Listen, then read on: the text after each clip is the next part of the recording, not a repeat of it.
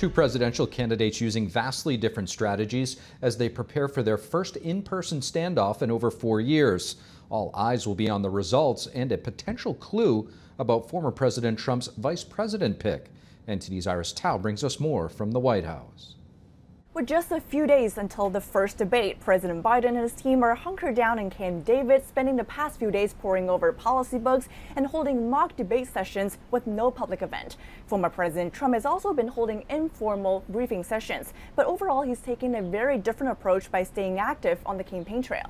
Over the weekend, he met with Christian voters in D.C. Christians cannot afford to sit on the sidelines. And courted voters in the key battleground state of Pennsylvania. Murders in Philadelphia reached their highest level in six decades. And on Monday, he's in New Orleans for a fundraiser with GOP allies. When asked about his strategy, Trump said, There's no strategy. We're going to turn it around fast. Meanwhile, Biden's campaign says the sitting president will focus on three issues on Thursday democracy, abortion, and Trump's economic plans. On Monday, the Biden campaign released a new ad highlighting abortion and Trump's recent conviction. Trump thinks he should not be held accountable for his own criminal actions, but he will let women and doctors be punished. And this week, Biden's campaign is hosting over 300 debate watch parties on debate night alone and over 1,600 additional events across battleground states.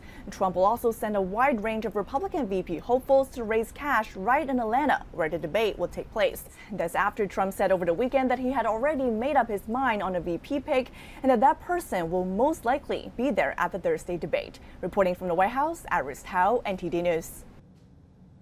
Recent polling showing former President Trump leading President Biden in six key battleground states. According to a recent CBS YouGov poll, the economy, crime, and the border top concerns for the majority of voters.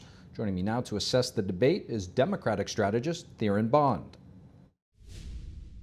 Theryn Bond, thank you so much for joining. Thank you for having me. It's great to have you with us. Theryn, as President Biden and former President Trump prepare for their first debate of the 2024 election, uh, the latest polls showing Trump leading uh, President Biden in six key swing states Arizona, Georgia, Wisconsin, Nevada, Pennsylvania, and Michigan. What does President Biden need to do to turn things around in these key states? The short answer is going to be that President Biden needs to tweak his messaging significantly. As we know, the message is what will resonate with voters or turn them off. And right now, nobody's excited about either of the two candidates. But what President Joe Biden can do is elevate his message. He can actually tweak his message to speak more to younger voters, to speak more to women voters, speak more to black voters. If he starts to pivot now, it may be enough to save this election. And as we all know, democracy is on the ballot, but it's going to take a lot. Right now, people feel like former President Donald Trump rep- represents action. Uh, despite the extremity of that action, he does represent action. And right now, President Joe Biden just represents a lot of talk.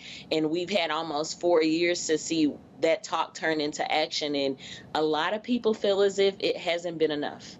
You mentioned the younger voters whom President Biden is trying to court, um, and it's becoming more and more difficult uh, for those younger voters to buy houses. Uh, they say it's hard to raise a, a, family now. Many have said that they just won't even vote at all this election cycle. What should President Biden's message be to this demographic to get them motivated to vote?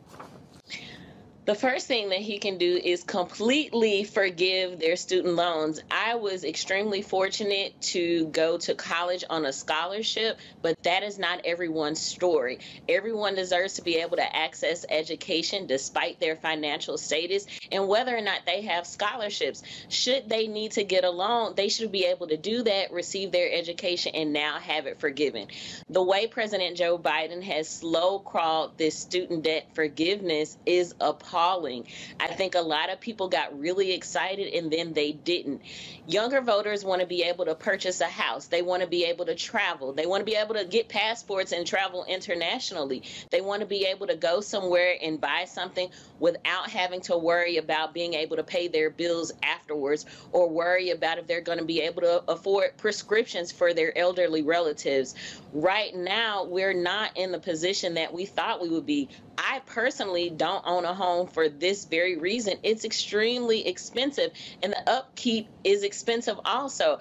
I don't know that even with with what I do at my millennial age that I would want a home because of all the things that come along with it, because of the extreme cost, because of the inflation around all the supporting things that have to happen when you when you buy a new home, when you buy a new car everything is expensive right now and people can't fully enjoy their lives because they're worrying about the bills and their adult responsibilities that we all have to care for. I want to get your thoughts, Theryn, on a recent Politico article highlighting President Biden's struggles with black and Hispanic voters, specifically in the key battleground state of Wisconsin in Milwaukee, where the uh, Republican convention is going to be. Um, why are we seeing these numbers, and what does President Biden need to do to turn it around uh, in those areas? Black voters want to be excited. We want to feel like we got something for our vote we give into something, we give you our support, we give you our dollars, we give you our votes. What is our return on investment? Our investment is our vote into you. What does our vote do for us? What does it do for funding education? What does it do for being able to afford a home? What does it do for being able to take care of children? What does it do for being able to access uh, public transit? What do the, what does our vote do? What does our vote get us? And unfortunately, because we've waited so long to see uh, solutions be rectified and problems just go away, now we're like, wait, we want it quickly. And yes, some things take time, but gosh, we've waited a long time black voters take up a significant portion of the voter base in the Democratic Party specifically.